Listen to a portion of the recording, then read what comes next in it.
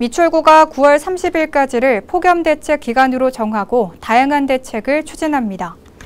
군은 폭염 대책 기간에 상황관리 전담 TF를 운영하고 150명의 재난도우미를 편성해 취약계층 안부 확인, 온열 질환 감시 등 예방 활동에 나섭니다. 또 경로당과 공원 등 무더위 쉼터 87곳과 그늘막 쉼터를 제공합니다. 이영훈 구청장은 지구온난화로 폭염이 심해지고 있다며 주민들의 폭염 피해 예방에 최선을 다하겠다고 말했습니다.